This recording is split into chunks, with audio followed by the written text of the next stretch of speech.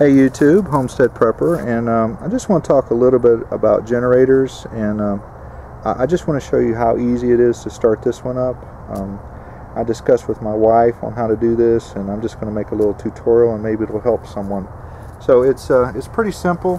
The first thing you do is you want to put this switch over here to one, and uh, you want to put the choke on, um, this had a real crappy fuel shutoff from the factory. I have replaced it and I put this brass one on here and you line it that way and that lets the fuel go in there. Of course you want to make sure there's fuel in it, which I've already done that. And uh, if it's cold, you put it on choke. Now this one has been running. I've already checked it out. I'm going to put this back in run and it should start right back up.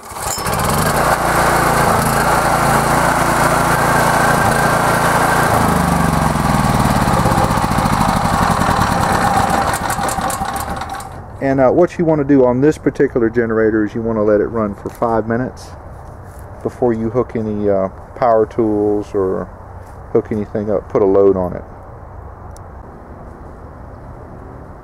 Uh, I want to talk a little bit about generators. I get questions all the time from people. Uh, the biggest question I get is, well, what size generator do I need? And uh, you know, my question to you is, what uh, what what level of convenience do you want in your home in a grid down situation?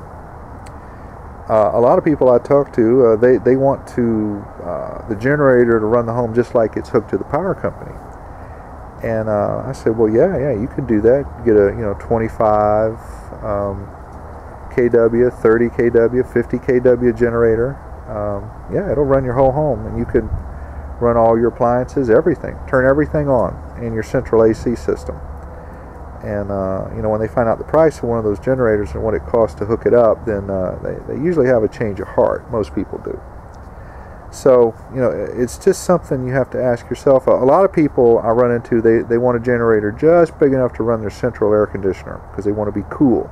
They want their comforts in a uh, grid down uh, scenario.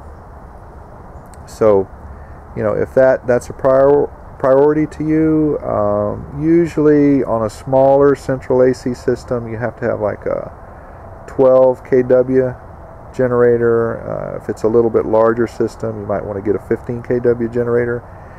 And I've had people argue with me and say, well, my air conditioner doesn't pull that kind of uh, load while it's running. And um, uh, I say you're right, but on, on uh, air conditioners, when they start up, they start up at six times the load. And you have to have something to compensate with that, and that requires a larger generator. So, uh, you know, ask yourself what you want to run and uh, what, what size you need. Now, uh, I went with a 5500 watt generator that you see here for several reasons. And uh, one reason was it was really all I could afford at the time, and this is about 10 years old. but my biggest priority was uh, that well right there. I wanted to be able to get some water because when the power goes out, I don't have any water unless I get my hand pump out. So uh, being able to run that uh, uh generator and run that well uh, was a big, big, huge, huge convenience. So to me, that's a priority, and I want to be able to uh, run my freezer and refrigerator and if I can run a few lights in my house and uh, you know maybe the computer or TV uh, that's that's bonus. But uh, water, freezer, refrigerator.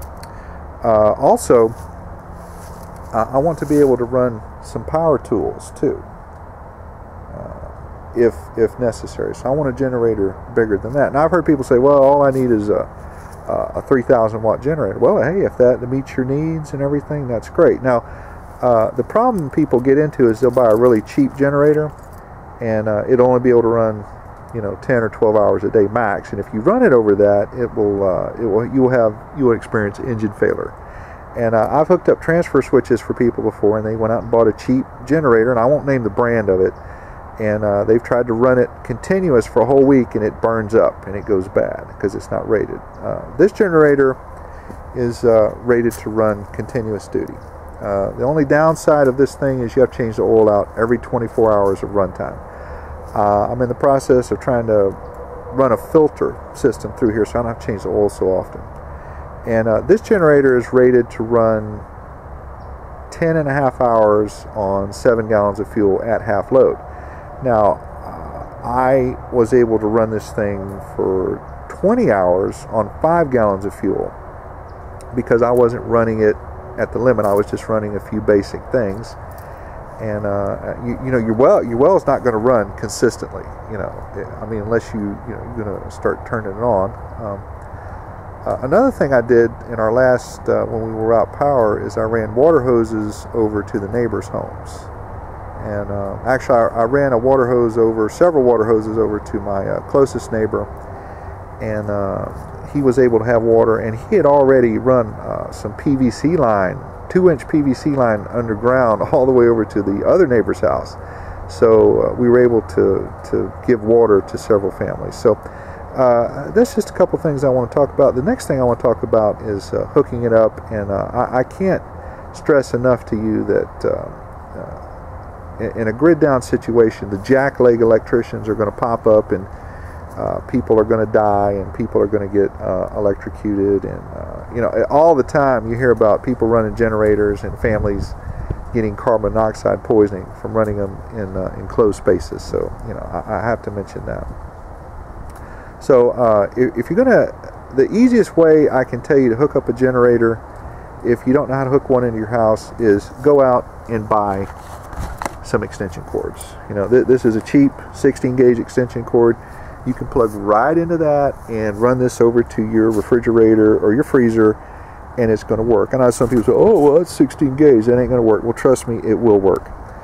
Uh, I've got a 20 gauge cord right there excuse me, not 20 gauge, 12 gauge oh, cord, which is rated for 20 amps. And I've got some other 12 gauge cords here that are rated for uh, 20 amps. And uh, this, this right here is a twist lock receptacle. And if you look, it has a NEMA number on it.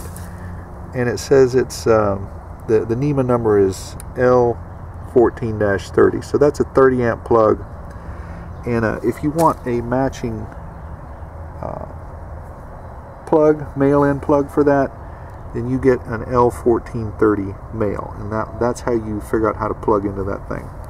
And what I would do is hook up one of those cords right there, and uh, I'll show you what I would do. I can't stress enough to always, always get a transfer switch. Now, I happen to get this one for free, and I refurbished it. But, uh, you know, uh, like I was saying, a lot of people are just really cheap and uh, they throw caution to the wind. And if you uh, backfeed this panel here and it goes up on the line and you kill a lineman from running power through here illegally, uh, then you know that's on you. So I always recommend you get a licensed electrical engineer, licensed master electrician, uh, have the thing permitted and have it inspected by code enforcement so it's done right. You don't kill anybody. You don't burn your house down. And uh, what, what you're going to see is uh, I, have seen, uh, you know, being in the trade, I have seen all kinds of stuff. And uh, if we were to have an emergency, I guarantee you this is what you're going to see. You're going to see somebody come over and say, oh, yeah, I can hook up to that panel. And, and they'll get their jumper cables out. And they, they'll want to hook right onto it. So, uh, guys, don't, don't do anything like that. It's not worth it. And uh, I, I, can speak from authority from... Um, well, not not from doing stuff half-assed, but from uh, being cocky when I was younger, doing electrical, and uh, it would be nothing for me to pull wires out while they were live and sparking and hook them up. And uh, everything was great until one day where I um, was fooling around with some uh, 277 480, and I, will just say I made a good connection. And um, uh, you know, all my might, I could not break free of that, and um, I guess, well, technically I died and uh, I uh, it was in a doctor's office, thank goodness. But uh, I um, after that I, I, never was cocky again with uh, electrical. So always turn the stuff off. Uh, uh, better yet, just hire a pro, someone who knows what they're doing. And if you see someone pull out here with jumper cables, trying to hook up your generator, man, just tell them to go away. always be safe. So. I hope to do a future video about hooking this thing up. I need to get a, a trough in here I need to cut this and uh, hook this up and do this properly and put a, uh, a plug on here and uh, make it really simple and idiot proof it so uh, that's all I want to say, and uh, this is the Homestead Prepper out. I uh, forgot to mention that anytime I get done with my generator, I take this little valve where it was on and I turn it off while it's running, and I just let it run out on its own. And what that does is that runs runs all the fuel out of the carburetor. It was still left on, and um, that way it has no chance to gum up and uh, that way the next time I want to use my generator I come out here and it'll start right up and I don't have any problems I don't have to uh, clean the carburetor take it apart and all that business um, I, if if I'm to do long-term storage I'll drain the uh, fuel out of this tank right here too and anytime I fool around with a generator I always use a good quality uh, stabilizer. I recommend that.